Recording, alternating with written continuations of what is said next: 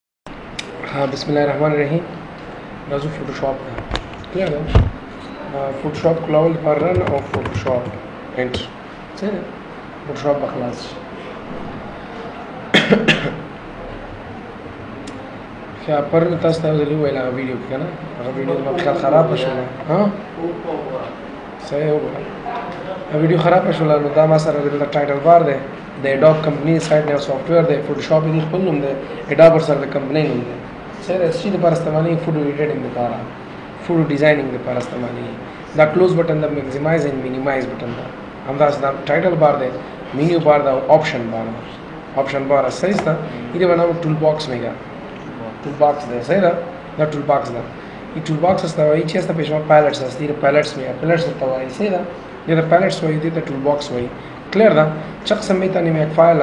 یا یک عکس در فوتوشاپ باز کنیم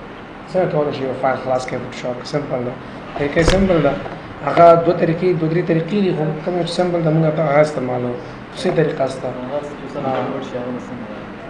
خیر د توایم نو فایل د کولای شي ډایرکټ اوپن از طریقه اوپن میتن یا فایل واس کړي صحیح سته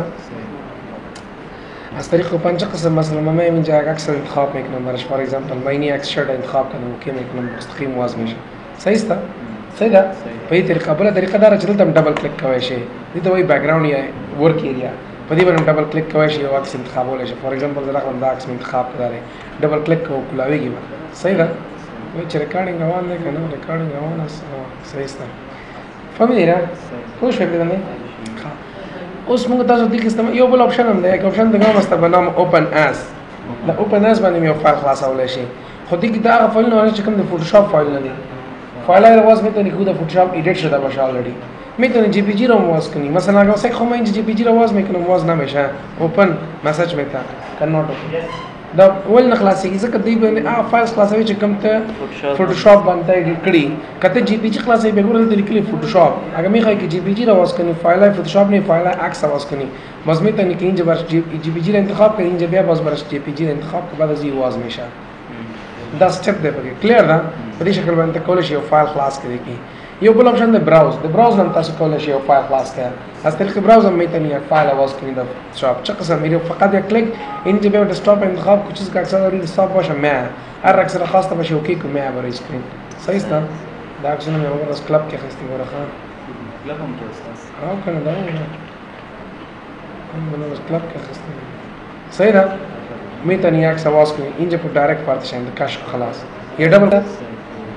او په دې شکل خو موږ تاسو به ټول ناسمه طریقه دا استعمالو چې دلته ډبل کلیک کا یو عکس سلیکټ کا صحیح ده فار ایگزامپل ما دا عکس سلیکټ کا اوپن مې کړه ګور دا عکس یا دا عکس سلیکټ کا ډایرکټ خلاص شو دا صحیح شو کلیر ده تاسو فار ایگزامپل ته کومه سره چې دی کچې د زړه مانه ګډوډي دا ګور دا شان بیسیک سيزونه چې دا اول ورځ تاسو تاسو ته پکار دي چې دا زده کړئ تاسو دا اول ورځ سبقونه دي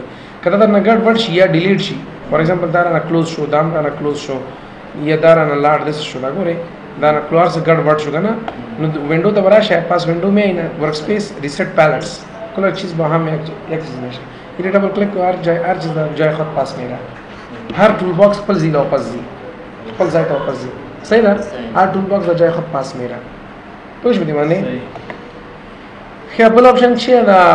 یو بل اپشن نن یو لور سبق د چغې ته وایي چې ریورټ ریورټ کار دا دی ریورټ کار دا دی چې د ځان ته چیک کولای شي د ځان کته ایډیټینګ کو فار ایگزامپل دا ته ما ایډیټینګ وکنه زه راځم دا ګور ډیلیټ اپشن مې کلک دا ګور ډیلیټ شو دا ګور ډیلیټ شو دونه ځای ما ډیلیټ نو پس ځان ته کولای شي ریورټ کلک کړو دا هغه شکل ته وایي چې کوم اوریجنل شکل دی د فایل چینج زور دی میخه کې پس به شکل عادي بیا مثلا انجام یک برش گرفتم برش یا ګران سر ها صحیح سر غلطی شو پس از طریق ریپورت می تنی فعال ته جوړ کړی صحیح ده کلیر شارکټ نه داره شارکټ دار کنټرول زیډ هم تا کنټرول زیډ زم تا کدا حالت خود بیا بعد کنټرول زیډ پرس کدل کنټرول زیډ نه کنټرول شیفټ زیډ کنټرول زین دا ایم اس ورډ صحیح ستا ها سمپل می ایم سٹارټ میکنگ درس روز اولا درس روز اولا ما شروع میشه از کجا از ریکتانگولر مارک یو 2